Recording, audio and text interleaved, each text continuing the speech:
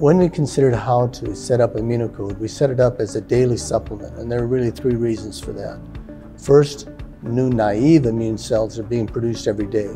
Second, the immune system cells then are replaced and older cells uh, drop off.